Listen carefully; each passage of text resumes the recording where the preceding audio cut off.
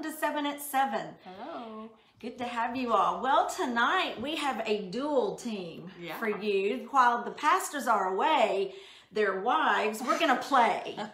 and we're going to get on here at 7 and 7 and uh, give a shout out to you all and bring you seven minutes of encouragement tonight. And uh, this is Shanti Culbertson, and I'm Hello. Dana Culbertson. And usually I have Wednesday nights, but like I said, we've had some time together today. Mm-hmm. And we've been talking about the message from last Sunday from Brother Adam. And uh, so we're going to go forward and talk a little bit about what God was showing us Mm-hmm. through this message. Yeah. Well, thanks for watching, everybody. Yes. Um, it, on Sunday's message, Adam had said he had a lot of really good nuggets. Yes. And one of the things that he said, uh, he was talking about kind of out of his own life some some trials that he'd gone through, um, fires, because uh, he was talking about going through the fire. And he said that this nugget was that the greatest tra- tragedy in the body of Christ is a lack of identity. And so that really hit me. I thought that was a really important point. He was talking about, um, he was speaking out of the account of uh, Meshach, uh, Shadrach, Meshach, and Abednego, and how the king had told them basically that they had to kneel and they had to worship an, a false idol. And if they didn't, he was going to throw them into a fiery Right. furnace. and they said to him, and this is out of Daniel chapter 3, their response to him was, If this be so, our God, whom we serve, is able to deliver us from the burning fiery furnace, and he will deliver us out of your hand, O king. And that is a really bold statement to Yes, it make, considering what they were facing. Um, and so, you know, how is it that they could have that kind of response? And boldness. and boldness, the Yeah. confidence to say that. Yeah. And I feel like it was because they knew their identity, because they knew their God. In fact, they said that we, the God we serve, is able to deliver us, and He will deliver us. well, Not that's only is he able, lot- but he will. He That's a will. whole different thing. That's whole, that's Yeah. totally different than saying I hope He does. yes. And so, if they knew that about their That's God, they also knew that about themselves. They knew something about themselves and their identity. And so, you know, in now in in our day, Time. Yeah. everybody goes through a fire. I mean, everybody does. Uh, it doesn't matter um, if you're a Christian or not a Christian. Right. Everybody goes They through do. fires. So, what is it? How is it that we can come through that fire successfully? Yes. The, and the Bible says that they came through a fire without even the smell of smoke on them. Yeah. There So- was no indication they had been through the fire. Yeah. Yeah. And that's what we want for ourselves. That's that's the goal. And that's what God wants for us. Yes. That's why He's given us this identity in Christ. Yeah. So that we can go through these things with His help, Yeah. but with the recognition that He's with us. Yes. And the power to overcome. Yes, absolutely. Yeah. And that all comes from identity. If you don't know the God that you serve, you don't know what's what He's going to do, and you really don't know who you are either. Yes. And so, um, I just wanted to bring out this scripture. This is from John chapter sixteen, verse thirty-three. And by the way, we both got this scripture Yeah. individually today. yeah. about this pretty about exciting. this seven at seven tonight. so we were pretty pumped about this. So it says, This is Jesus, and he says, These things I've spoken to you, that in me you may have peace. And in the world you will have tribulation, but be of good cheer, I have overcome the world. Mm-hmm. So he's saying that there's really two locations here. Right, yeah. Okay. There's one in him, and that brings peace. Exactly. There's a second location, and that's part of the world system. And In that the world. that has tribulation, that has trials, Troubles, troubles, the fire, right? Yes.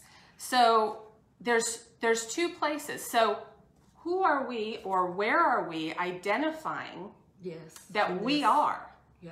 Because that's going to make the difference in It our does. perspective of going through the fire. Right. Our perspective of what's going on and who we are as we go through the fire. Mm-hmm. And that God, just like the three Hebrew children said, or men said, they said, He's not only is He willing, but He's going to be with us. Yes. And so He is with us today, even more so than then, Yeah. because we're under this new covenant. Yes. And we've Spirit been- lives within It us. within us, dwells within us, lives within us, so Yeah. that we can look from the perspective or the lens. I like to talk Yeah. about it. It's a lens, and we can see that God is with us going through this, and He's given us the power to overcome it.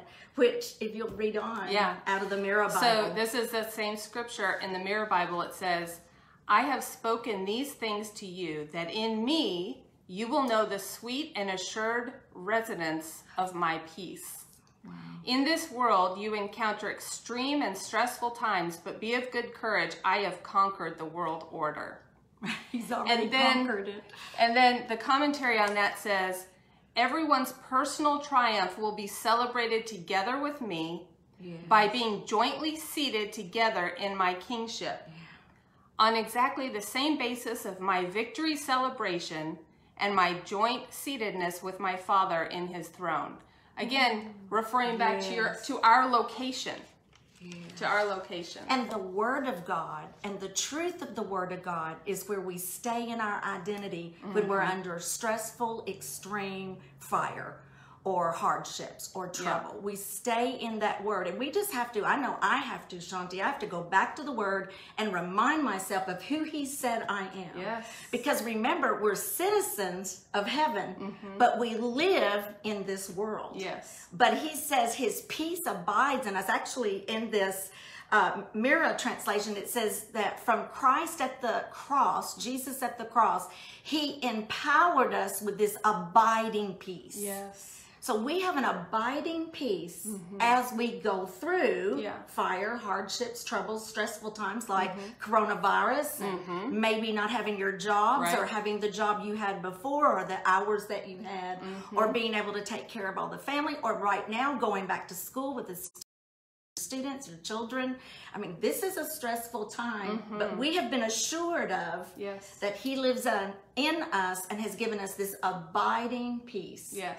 because you know John 15 says that he abides or dwells in us and we abide and dwell in him Amen. and we have that confidence so we Yeah. should say confidently the lord is my helper the lord is my strength the lord is my peace Amen. the lord god i identify with his power and we've been on grace we identify with the grace Mm-hmm. Yes. he's so freely given us Yes. and lavished upon us his love Amen. amen That's good. Yeah. That's really good. And that's and it works. The Yes, thing is, this isn't just us talking. This is we're really doing this. We do it. You can do it. It's God's will for us to do this Yeah. as we go through stressful times. Yeah. Is to depend upon all that He has lavished upon us, Yes. all He's given us. He's a good Father, yes. and He wants you. He's already saying you've overcome. Yeah. In the Mirror Bible, he says, That's You've right. already overcome. You've already gained a victory in Jesus. Just hold on to him, keep a hold of him as we go through. That's right. He says, "Be of good courage."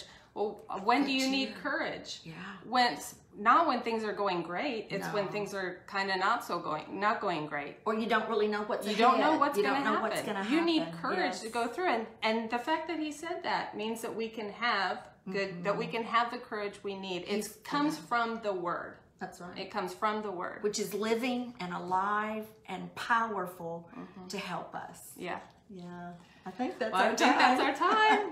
Thank you for joining us tonight. We pray you're encouraged through this wonderful John chapter 16, verse 33. Please go look at it, meditate on it, and also just uh, remember that the greatest tragedy in the body of Christ is a lack of identity, and you identify with Jesus because he's already identified with you. God bless you. Yep. Good night, everybody. Thank you for watching.